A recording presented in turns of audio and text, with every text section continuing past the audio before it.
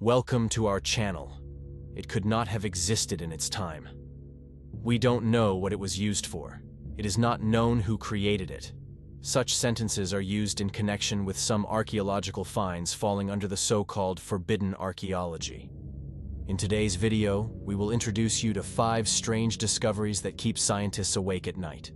But before we look at them, don't forget to hit the subscribe button, and without further ado, let's get started.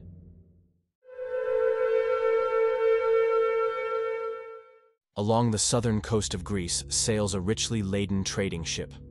Its destination is Rome, where they will surely welcome and generously pay for all the valuable goods imported from the islands of Rhodes and Kos. However, the weather does not favor the voyage.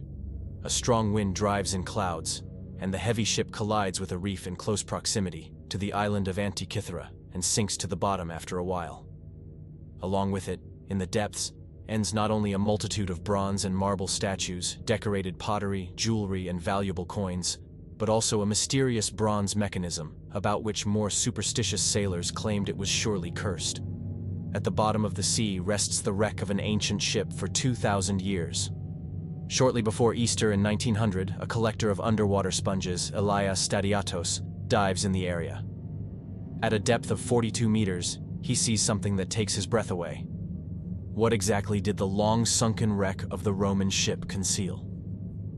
In the same year that the diver discovers the wreck, the first expedition set out to it, pulling up several statues. However, the world has to wait two more years for the biggest find. In 1902, in the presence of Greek archaeologist Spyridon Stais, several pieces of a corroded and heavily encrusted device made of copper and wood are retrieved from the wreck of the ship. There are a total of three larger and several dozen smaller fragments, including clearly visible gears.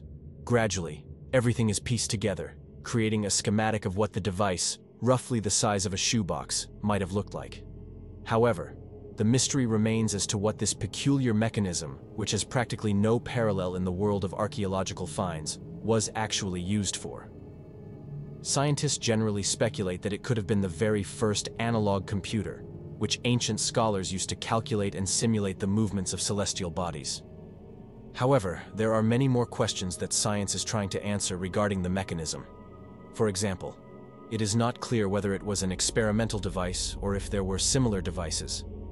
Most researchers lean towards the first version, and many believe that some significant scholar of the time could have been behind this creation. For example, Archimedes himself. This would also be consistent with the latest findings regarding the age of the device. Originally thought to have been made around 80 BCE, the latest research using X-ray tomography suggests that it is at least 100 years older. What was this device actually used for?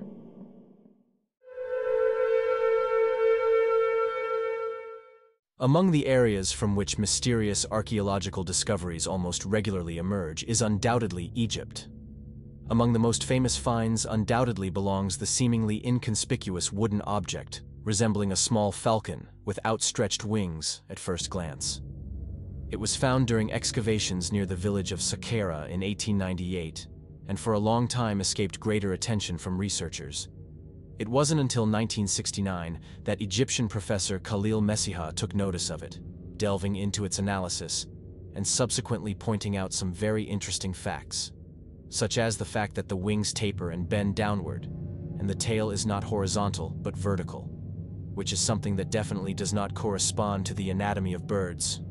To this day, the logical question of whether it could actually be a miniature model of a functional aircraft provokes many researchers.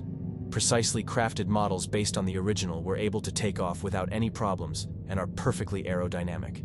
For over 50 years, there has been a debate about what the Saqqara model actually is.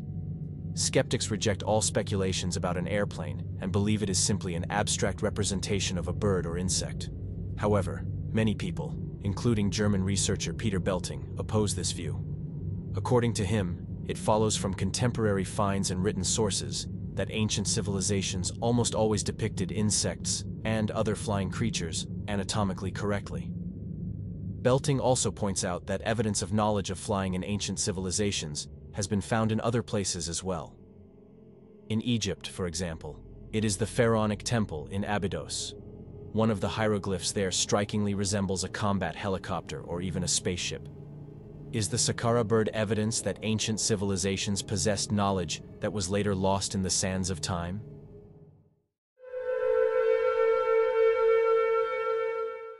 In 1936, excavations are taking place in the ancient village of Khujut Rabu near Baghdad.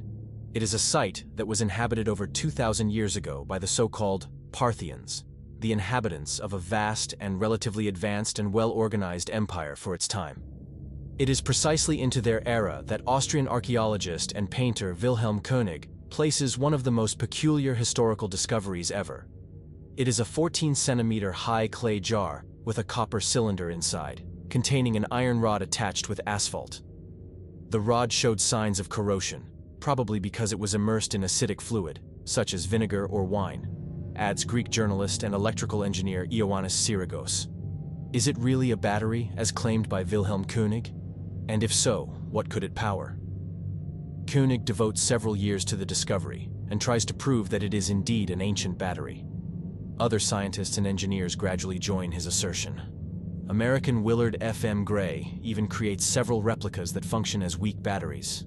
However, the question of what such batteries could power remains unanswered.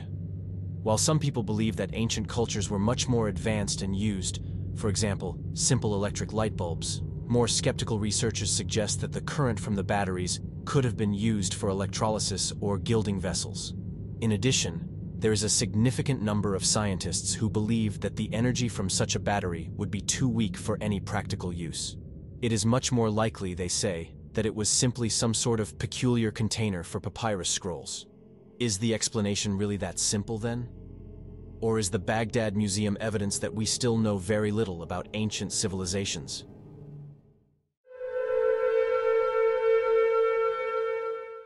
The majority of people are familiar with them, mainly from the movie Indiana Jones and the Kingdom of the Crystal Skull.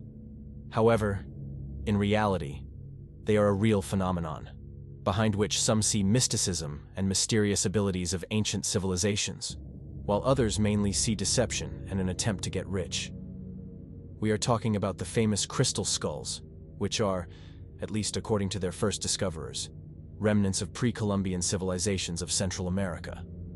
The history of their discovery dates back to the 19th century, mainly to the French archaeologist and antiquarian Eugène Boban.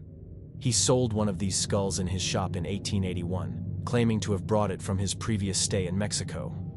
Another skull was found a few decades later by the English adventurer, traveler, and writer Frederick A. Mitchell Hedges. His daughter, who later publicized the find, claims he found it while exploring Mayan ruins in Honduras. The origin of the other two skulls, which are now in museum collections, is unknown. As is the question of how many more may still be in private collections or undiscovered. A number of unconfirmed information and speculations are associated with the skulls today. While scientists point to analyses suggesting that they are creations from the late 19th or early 20th century, many enthusiasts note that several clues suggest otherwise.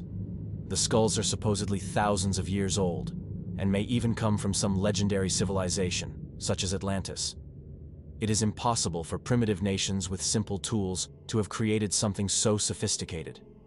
Theorists and proponents of the ancient astronaut theory often cite several arguments in favor of the idea that captivating crystal skulls may also be associated with advanced extraterrestrial technology.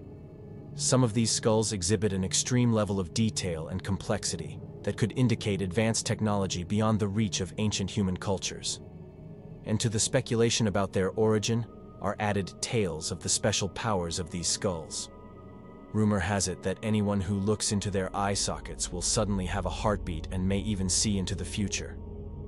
Some people claim the skulls are cursed and dangerous, while others believe they have healing powers. We believe it's some kind of computer that can record energy and vibrations from the surroundings, says American mystic and writer Joshua Shapiro. Are these skulls really some ancient wonder?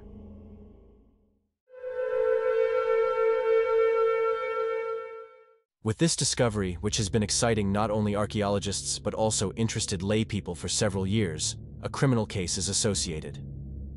The disc was found in 1999 by two looters of archaeological sites on the Mittelberg, near the town of Nebra. Both treasure hunters sold the valuable artifact to two dealers, who then smuggled it abroad, but were caught in Basel when the criminal police feigned interest in buying it. Today, no one doubts the authenticity of the artifact. Since June 2013, the disc has even been part of UNESCO's cultural heritage. What makes the object labeled as an archaeological sensation so special? The circular object with a diameter of just under 32 centimeters and a thickness of 4.5 millimeters in the center and 1.7 millimeters at the edge is now considered the oldest known depiction of the night sky in the world. Of course, we disregard depictions of constellations and rock drawings from the Stone Age, but in their case, they are geoglyphs. The disc weighs about 2.3 kilograms and is mainly made of bronze. The disc was buried sometime around 1600 BCE, and experts from the State Heritage and Archaeological Institute in Halle an der Saale date its manufacture to the period between the 17th and 21st centuries BCE. The images on the disc undoubtedly represent the night sky, and thus have a clear astronomical meaning. However, interpretations of the depiction vary. For example, a group of closely spaced points above the sun and the moon is interpreted as the Pleiades cluster. In many myths around the world, this star cluster belonging to the constellation Taurus is considered the home of the gods. According to another interpretation, the disk represents an attempt to reconcile the lunar year of 354 days with the solar year of 365 days. The disk could thus represent some kind of Bronze Age computer. It could also have been used to determine the summer and winter solstices. The sensational archaeological find may have also allowed calculations of planetary orbits and similar things, but about which we know nothing, so it is currently just speculation. The Nebra disk hides much more incredible knowledge, but listing it would far exceed the scope of our video. In short, this disk represents incredible knowledge of astronomy, mathematics, and geometry. This was the first part of the video series Forbidden Archaeology.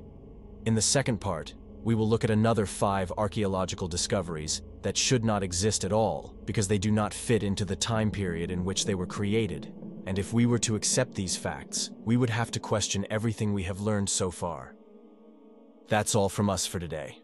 If you're interested in videos filled with mysterious mysteries, dark stories, legends, or monsters, and you crave more, subscribe to our channel so you won't miss any new videos.